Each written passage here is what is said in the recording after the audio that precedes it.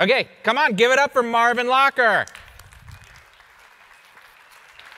Thank you. Alrighty, hello. Thank you all for coming to the lightning talk.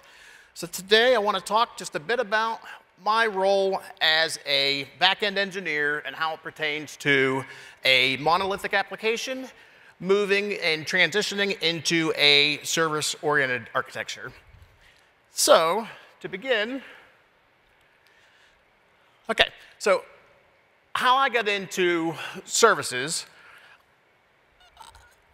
was my current role, I work for a international ride sharing company. They have a application where you can go and reserve a vehicle for as little as 15 minutes up till hours, days, however long you need. So originally a monolithic application suited the needs. But as, they, as the need grew and they needed to scale, they needed to add more features. There was more and more, uh, there was more and more things that needed implemented into this application, and they found that it was a bit tricky to add these changes and make it scalable and testable. So they decided to go down the path with service-oriented architecture. So that's where I come in. I come in to help create the services and at the same time maintain the current uh, platform, which was the monolithic application. So with, within two years, in a monolithic application, which for those of you who don't know, is pretty much a unified model of design where all of your components are, are very tightly coupled.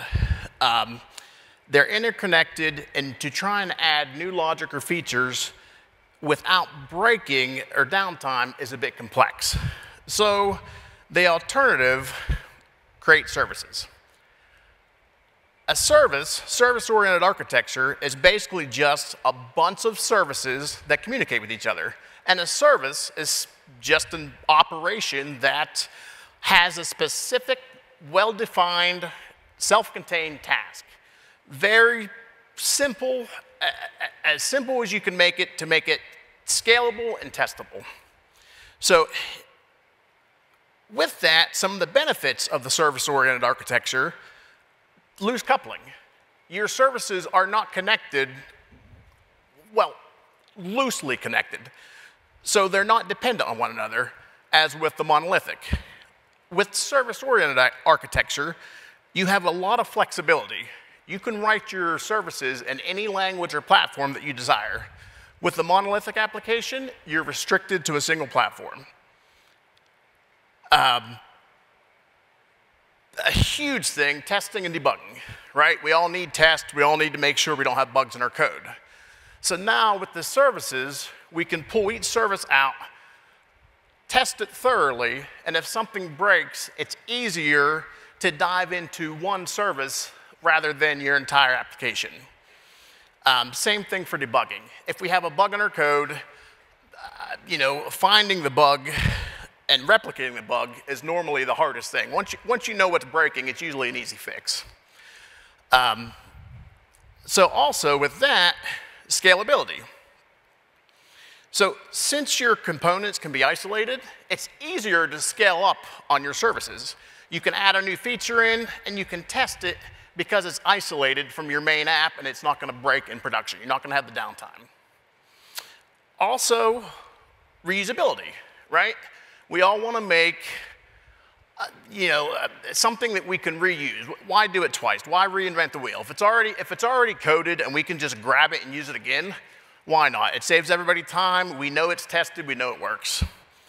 So with that, of course, you know, there's a lot of debate. There's also some disadvantages. So there is a huge upfront cost. Unless you start with the service-oriented architecture, which my current role, they didn't. I've, we've, well, they've spent two years on dev time maintaining a monolithic app and creating these services. So you can imagine the upfront expense. But when looking at scaling, hopefully it will pay off you know, in the long run. Um, extra computing. Your inputs are validated as you pass from service to service. So you have more computing, The services also can communicate back and forth a lot, so you can have extra, you know, the need for the server, the high-speed server, and a lot of bandwidth. So, like anything else, you know, another disadvantage, if you're coming into a, a service-oriented architecture and you pick up a ticket, you know, to know, to know what service you need to be working in can be, can be a bit of a challenge. So there is some disadvantages as well, you know, coming in from the outside. But the nice thing about services, if you make them as, as, as simplistic as possible, it will be easier to, uh, you know, to, to add new features and to know what service you're supposed to be in. So with that, I will come to, uh, you know, final thoughts. Also, service-oriented architecture is not right for, for, you know, all your projects. If you have a short-lived application that's not going to scale, you probably don't need to worry about it until the time comes where, you, you know, you do decide you want to scale. So thank you for listening to my talk.